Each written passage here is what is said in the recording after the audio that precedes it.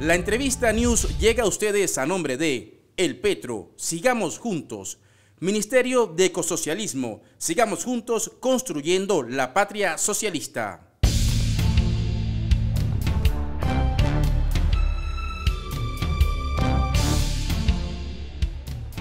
Amigos de Venezuela News, nos reencontramos por este canal para seguir generando mucha información, opinión política, sobre todo en este contexto ya quizás de calentamiento a lo que será esa elección presidencial del año 2024. Me acompaña el dirigente de Primero Venezuela, José Brito. Hermano, gracias por estar con nosotros, repitiendo. Muchas gracias, Michel. Bueno, y es que ha trascendido la información, eh, de acuerdo a lo que ya se ha planteado, de, de su postulación como precandidato, ya anunciado directamente de esta organización política.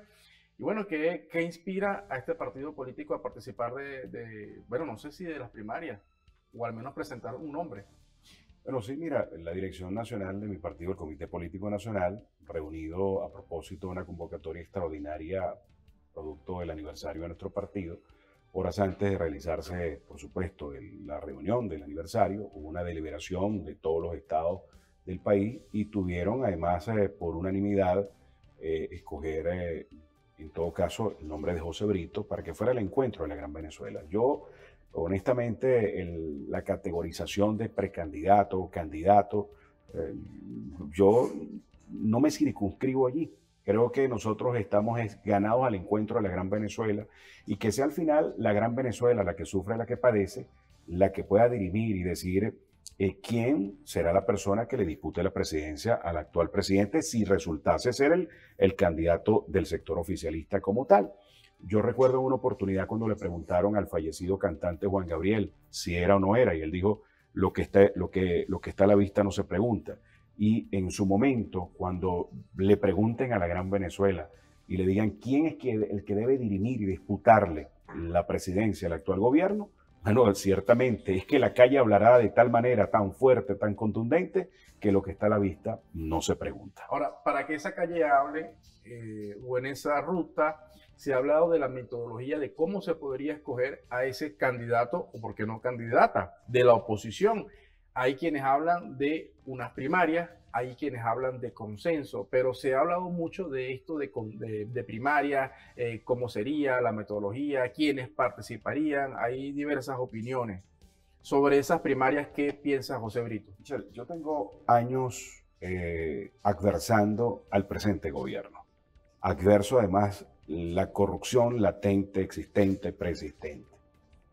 Eh, me niego a, aceptar eso, como me niego también a hacer causa común con un sector de oposición, pues yo no tengo opositómetros para decir si es o no es, de un sector de oposición que se inventó un gobierno de mentiras solo para robar. Es necesaria una nuestra, una honesta y nueva forma de hacer política, porque el drama de Venezuela al final terminan siendo las cúpulas nefastas. Una cúpula que te controla lo que comes, lo que ganas, eh, eh, hasta la vida, y otra que te sanciona y te bloquea lo que ganas lo que comes y te bloquea hasta la vida. Al final, el problema de este país son esas cúpulas nefastas.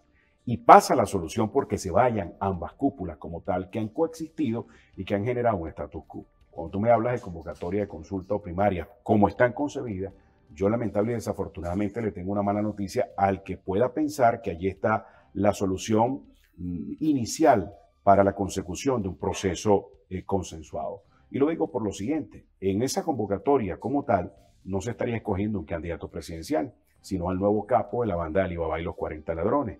Aquí se trata de rendir cuentas, de pedirle perdón al pueblo, de dar explicaciones a la gente. Si lo ocurrido, por ejemplo, por ponerte un solo caso, pudiera enumerarte mucho, el caso de Monómero. Si manejando una empresa como tal, como Monómero, ocurrió lo que ocurrió, que ha sido una, una vergüenza como tal, imagínate manejando un país como tal. Venezuela es mucho más amplia, mucho más diversa.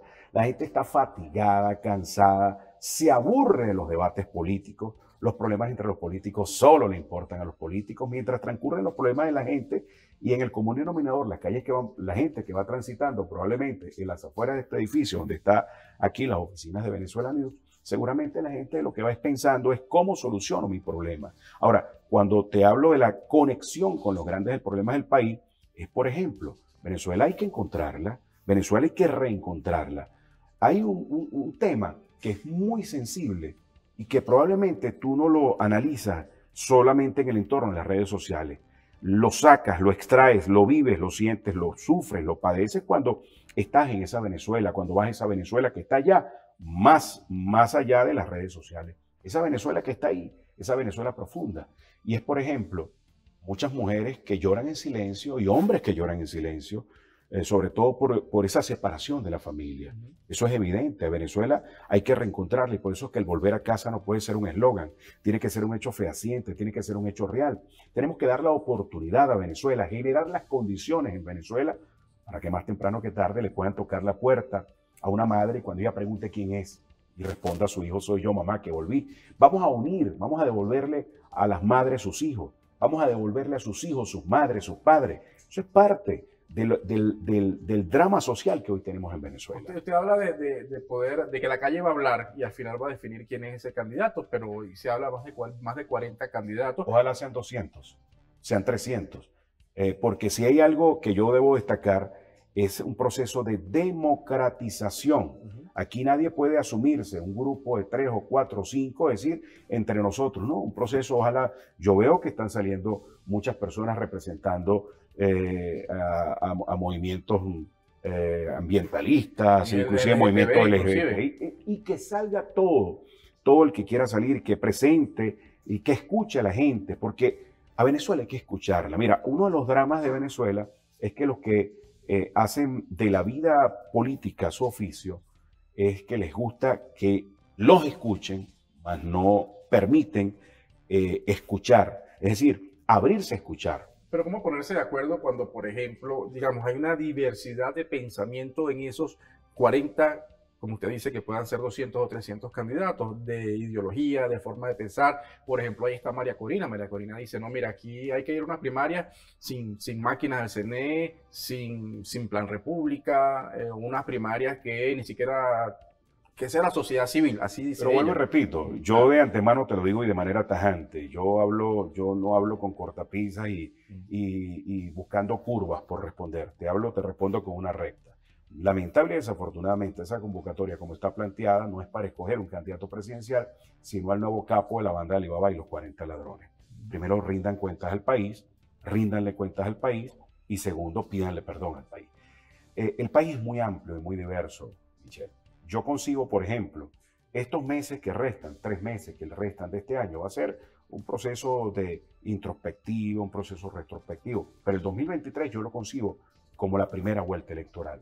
Una primera vuelta electoral donde eh, la calle va a hablar y el 2024 va a haber un proceso de decantación natural por un lado y decantación inducida por el otro. Decantación natural porque, bueno, mucha gente dirá, bueno, yo coloqué mi nombre, eh, pero, bueno, eh, circunstancias indican que, que hasta aquí llego. Decantación inducida porque el pueblo al final es el que va a determinar tal o cual es el hombre o la mujer que encarna eh, el mayor sentimiento, la mayor conexión social para eh, no solamente un proceso de polarizar, sino de ir a debatir, a discutir y además a lograr no solamente ganar, sino también lo más difícil, gobernar en esta nueva Venezuela. Ahora, el, tema de las sanciones y, este bloqueo podría ser o sería seguramente parte de, ese debate entre eh, precandidatos, aspirantes o gente que quiera, digamos, eh, hacer frente en una campaña con el candidato del gobierno. ¿Qué, ¿Qué, opina usted? ¿Cuál sería la posición con respecto a este tema? Mira, yo creo que, yo que eso servía como una modo de presión para salir del gobierno. mira, fíjate que en Venezuela el problema no es de leyes, sino de cumplimiento de las leyes. Pero si yo, presidente de la República, si alguna enmienda yo le propondría al, país, enmendar la constitución, es entre otras cosas, entre otras cosas, es para eh, promover y hacer ley los debates en el país. Fíjate que, y, que eso suponga que quien no, quien no se preste para un debate, como por ejemplo el caso de la segunda vuelta en Colombia, el señor Rodolfo Hernández al final se hizo el loco y no debatió. Creo que yo soy, yo estoy ganado a un gran debate nacional. Y convoquen, convoquen. Yo quiero debatir eh, junto a Nicolás Maduro y debatir los grandes problemas del país. ¿Y cómo no podemos debatir? Yo creo que, de verdad, porque yo no confundo ni diferencias con odio, ni confundo la necesidad de justicia con venganza, pero vamos a debatir los grandes problemas del país, pasado, presente, futuro. vamos a debatir además con otras visiones, pues tú lo has señalado, cómo, poner, cómo dentro del campo de tantas visiones, de dogmas presentes, cómo bueno, vamos a debatir los grandes problemas del país, en lo económico, en lo político, en lo social, en lo moral, pero poniendo acento en lo económico y sobre todo teniendo en cuenta algo. Para ser presidente de la República hay que tener presente, primero, que tú eres el, eh, serás el jefe o eres el jefe, eh, eh, eres el representante del Estado como tal. Es decir, tú tienes que unificar, reunificar al Estado como tal. Tú tienes que ir al encuentro de la Gran Venezuela. Creer que no existe un sector radical en Venezuela. Creer que no existe un sector que apoya al presente gobierno. Hay una gran mayoría decepcionada de ambos extremos. Es negar la realidad. Hay que reencontrar esa Venezuela. Eres el jefe del Estado, pero también jefe de gobierno. Si eres jefe de gobierno, tienes que buscar, tú no puedes soslayar la lealtad sobre la eficiencia. Yo quiero personas eficientes. Eres el comandante en jefe de la Fuerza Armada. Un presidente no puede, o el que pretenda ser presidente, agredir a la Fuerza Armada y llamarlos vende papa. Yo creo que lo que hay es que señalar y decirle el principio básico, vamos a manejar el criterio de soberanía nacional. Y un, y un, y un término que no, no me gusta mucho, pero es el que está presente allí. Tú eres el que administras la Hacienda Pública Nacional. Pero hay un tema, eh, eh, además un, adagio que dice, cuando no se roba la plata rinde. El problema de Venezuela, eh, Michelle, es que ¿quién controla a quién? El problema es establecer controles. Si yo, presidente de la República, si siento que nadie me va a controlar, que no tengo un poderes que me van a controlar, bueno, yo manejo esto como una pulpería. José Brito lo maneja.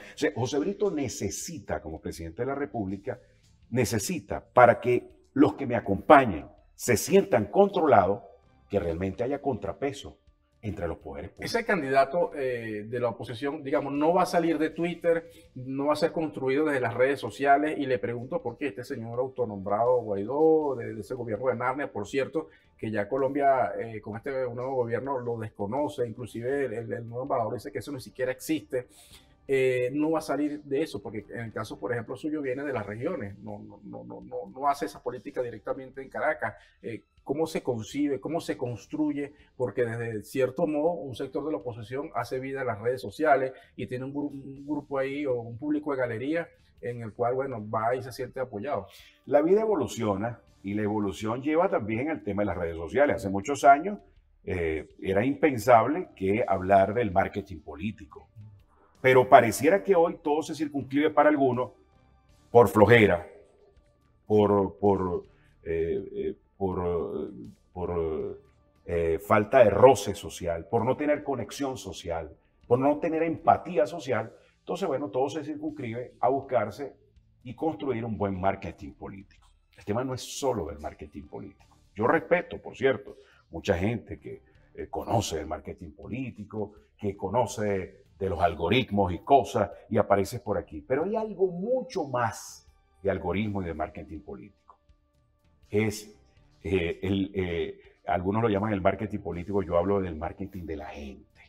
Yo hablo de la gente, yo hablo de escuchar a la gente. Algunos me preguntan, eh, y, y, el plan de gobierno y cosas, porque eso es muy, algunos, y tú vas a un medio por aquí, te preguntan plan de gobierno, y digo, mira, los planes de gobierno están tan trillados como tal. Tú no puedes concebir un plan de decir, bueno, convoco a Michelle y convoco a dos, tres más y nos encerramos aquí en Caracas. ¿Y quién escucha la Gran Venezuela? ¿Cuándo hemos ido a tocar una puerta y en lugar de decirle, señor, aquí estoy yo, soy el candidato 42 o 45, eh, eh, eh, como era con la constituyente, candidato número 60, ¿te acuerdas? Había uno la máscara, la máscara, y esto y el otro. No, no, no, no se trata de eso. Se trata de decirle, señor, aquí estoy. Pero yo vengo no a que tú me escuches, yo vengo a escucharte. Se trata de la construcción de un plan Venezuela. La verdad es que eh, desde, este lado del campo opositor nos han hecho un reclamo y con validez el reclamo de la falta de un plan de gobierno, de un plan país. Y hay que construirlo, pero construirlo entre todos, construirlo escuchando a la gente, construirlo además. Por ejemplo, yo le preguntaría hoy a un grupo de, yo respeto a muchos economistas en este país, pero yo les diría, hermano, vamos a reunirnos y, vamos a hacer una mesa, pero vamos a dejar los sesgos en la puerta. Y vamos a sentarnos aquí sin sesgo, o tratar sin sesgo. Y lo primero es, yo les haría la pregunta de las 5 WH. ¿Cuándo nosotros, como venezolanos, perdimos nuestro poder adquisitivo. ¿Cómo perdimos nuestro poder adquisitivo? ¿Por qué perdimos nuestro poder adquisitivo? ¿Y qué podemos hacer para recuperar nuestro Me da que le pregunte. Hay gente que dice que Venezuela se está arreglando, también hay inclusive sectores de oposición, inclusive órganos internacionales que dicen que ha habido un avance en materia económica, pero eso se siente, Venezuela se está arreglando, se está arreglando poco a poco, progresivamente. ¿Qué piensa José Brito? Yo siento que Venezuela se arreglará cuando el bolsillo de la gente, cuando tú lo metas y no tengas un poco de, un poco de caimanes y tengas que sacar ahí, porque de verdad yo lo que siento es que hoy... Eh, eh, Venezuela, el término Venezuela se arregló, Venezuela se está arreglando, es en la medida que la gente recupere su poder adquisitivo. Yo escucho a muchos hablando de dolarizar el salario como tal. es que yo no soy, una propuesta suya. Usted es presidente y usted dice voy a dolarizar. Yo no soy contrario a la dolarización. El tema es cómo llegar al proceso de dolarización. Primero, tendríamos que fortalecer nuestra moneda como tal. Pero Ahora, pero te, te digo, ¿cómo dolarizar nuestra moneda como tal? Es decir, el tema no es solamente enunciativo, Michelle. nosotros no podemos quedarnos aquí en una, una, propuesta y yo le digo, vamos a dolarizar el salario. Claro que hay que dolarizar el salario, pero más que dolarizar, hay que recuperar el poder adquisitivo, porque aquí no se trata si ganas 30 dólares o ganas 50 o ganas 100. Si tú ganas 100, pero todos los productos aumentan desmesuradamente, los 100 probablemente no te van a alcanzar. Es como si ganaras 30. Es decir, ¿cómo recuperas tu capacidad que ganando 100, 200, 150 dólares, 300, lo que ganes, tengas la posibilidad de satisfacer tus necesidades primarias, por lo menos, que hoy lamentablemente no puedes satisfacer? Es la cruda realidad. Y se trata precisamente de eso. Por eso es que creo que el acento yo escucho muchas propuestas que en la salud, que en la educación, que, eh, eh, pero aquí de verdad, se trata hoy principalmente de la economía. Y la economía pasa también por resolver el problema energético. Aquí hay que dejarse de mucho. Por ejemplo. ¿Qué pasa tienen las sanciones sobre, la pero, pero, fíjate, pero fíjate lo siguiente, por eso, yo, presidente de la República, lo primero, lo primero que le diría a, los Estados Unidos, mira, yo pretendo ser un surtidor con, con, con nosotros, tendrá un surtidor confiable, pero eso sí, nosotros somos profundamente venezolanistas pero tendrá un surtidor confiable. Es decir, aquí hay que... Y el gobierno no lo ha hecho. Pero escucha, aquí hay una situación. El tema no es de hacerlo. El tema es, como decían, no es como... Hay que hacer como la mujer del César, decían. No basta ser honesta, sino parecerlo. Es dar la sensación. La diatriba como tal, la diatriba como tal, la diatriba política como tal, ha generado, honestamente, bueno, que el tema del petróleo sea el que esté en la picota a la hora de la conflictividad. ¿Por qué tú crees que hay sectores del Departamento de Estado norteamericano que financian a un sector de la oposición para la lucha contra Maduro? Lo financian porque en todo caso quieren tener eh, a una suerte de cigüí en materia, eh, pero que les garantice, bueno, no es que les garantice ser un suplidor de petróleo, sino que les entregue en cuerpo y alma el manejo del petróleo como tal. Entonces se trata de decirle con un profundo sentido nacionalista, venezolanista, no solamente a los Estados Unidos, a los otros, a los chinos, a los rusos, decirle, aquí tendrán un suplidor confiable de combustible. Aquí estamos abiertos a cualquier tipo de negociación. Aquí estamos abiertos a cualquier tipo de alianzas estratégicas, pero dentro del campo de entender que el tutelaje en Venezuela no está ni en Gringolandia, ni está por allá, ni está por allá. El tutelaje en Venezuela está en las calles de los 335 municipios que conforman la geografía nacional. ¿Qué piensa, José Berito? Hay, varios temas, ¿no? Eh, si usted llegara, porque no? Bueno, en esa propuesta que tiene de llegar a la presidencia, ¿qué piensa José Brito sobre el tema del Darién? ¿no? Eh, el tema del río Bravo. Se ha denunciado que hay una campaña de sectores que han perdido Colombia, que han perdido ese apoyo de Colombia y siguen jugando o cabalgando o intentando cabalgar en el tema de esa ayuda humanitaria y se exacerban ciertos temas eh, como eso del Darién, como el Río Bravo, como de venezolanos saliendo eh, por millones de Venezuela. ¿Qué piensa usted de esos temas? Mira, eso, eso ha aparecido en la picota, Michelle, producto del conflicto entre las cúpulas nefastas que se generaron una suerte de status quo en este país. Algunos les interesa promover indiscutiblemente y promover ese tipo. A mí me, a mí me causa de verdad eh, estupor, eh, me causa dolor y por eso yo creo que el tema, ¿cómo, ¿cómo puedo pretender ser una alternativa de poder en Venezuela, una alternativa de gobierno en Venezuela? Cuando la solución que yo planteé sea irse de Venezuela, es todo lo contrario, es generar las condiciones en lo económico, en lo político, en lo social, para que el volver a casa no sea un eslogan, sea una realidad. Eh, el primer pensamiento de cualquier persona que está fuera de Venezuela, hermano, su primer pensamiento se llama Venezuela. El tema del volver a casa, ¿cuántas madres tú le hablas del volver a casa y le corren las lágrimas por su mejilla? ¿Cuántos padres tú les comienzas a decir, yo quiero, eh, hermano, hermana, que te toquen la puerta y cuando preguntes quién es, soy yo, papá, que volví? ¿Cuántos hombres eh, se secan las lágrimas viniendo para los lados porque les da pena? Dicen que el hombre no llora, los hombres lloramos. Y hay que reencontrar a la familia. Pero el Darién es una campaña, eh, es una campaña que desde un sector el Darién, vendiendo el, Darién, el, youtuber, todo eso. El Darién es una, es una mistura entre una campaña de sectores que les interesa promover eso y del fracaso de una política económica y social en el país. Es una mixtura que hay, porque ciertamente mucha gente que ve que sus condiciones de pauperadas económicas no consigue salida en Venezuela, entonces proclive también a ese campo. Por ejemplo, pero yo, ¿quién se va arriesgando su vida? Pero que, que, además de una necesidad, eh, digamos, arriesgar tu vida, inclusive llevando niños. Yo te voy a comentar algo. Hace días me, escribe una muchacha y me dice... Un bombardeo mediático. Pero, fíjate lo siguiente, hace unos días una muchacha me escribe y me dice, ahí tengo el mensaje, te lo puedo colocar eh, aquí, y me dice, te escribo para despedirme. Y yo, mío, bueno, primero no, no, es novia mía, es decir, no se está despidiendo amorosamente. Yo le respondí fue, estás enferma, te vas del país, ¿qué pasa? Y ella me dice, me voy, y me voy por, ese, por, por, esa cuestión del... Por el Darién. Por el Darién. Y te digo para que me ayudes, para que me ayudes económicamente con algo para irme. Mira, amor, yo te puedo ayudar para mil cosas, pero para locuras como esa no. Y le fui muy franco, le fui muy sincero. No arriesgues tu vida de esa manera. Yo sé lo de pauperada que está la economía. Yo de verdad no quiero que sea tu destino. Y al final lo que le dije, bueno, hija, eh, eh, pido a Dios que, que, puedas reflexionar sobre el particular. Pero ahí hay, eh, ahí hay un fracaso de lo que ya llamamos esas cúpulas nefastas. El hecho de que alguna muchacha o muchacho, hombre o mujer, vieja o viejo, vea que caminando por allí está la solución a sus problemas, es el fracaso de una clase política enclaustrada en lo que denomino las cúpulas nefastas que le han hecho un profundo daño al país.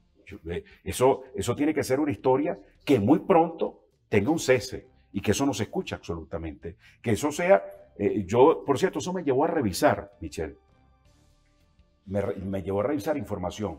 Y fíjate, 70 mil haitianos han pasado por ese, por, eso. Que, además que eso no, es nuevo, pero eh, parece que hay un interés en algunos medios en todo, transmiten en, vivo. Por eso, eso, te digo, es el fracaso. Es el fracaso, por un lado, de una política, de una política en Venezuela que ha tenido la gente, como dicen en mi pueblo, mamando y loco, pero también es la promoción de unos irresponsables que eh, pretenden generar una desestabilización dentro de ese contexto de, eh, eh, desastre económico que hay en Venezuela como la gran solución. Yo no puedo ser el irresponsable de decirle a alguien por querer ser populista o ganarme la, quizás la gracia de una persona, decirle, creo que eso es el camino. Yo tengo que hablar con mucha franqueza y con mucha responsabilidad, como le respondía a esa muchacha. Bueno, ya estamos cerrando. Temas importantes, la gente se pregunta, por ejemplo, eh, el tema aborto,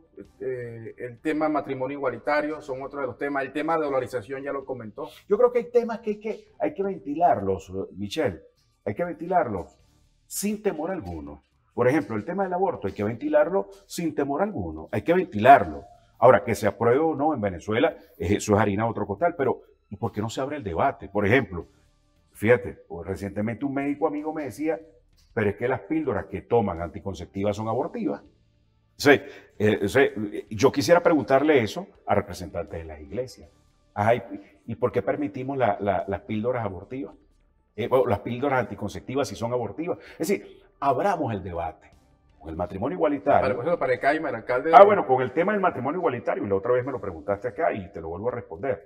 Eh, el tema, ciertamente, todos los sondeos indican eh, que, hacen en la calle. Bueno, que la gran mayoría lo que dice es no está preparada para eso, rechaza eso.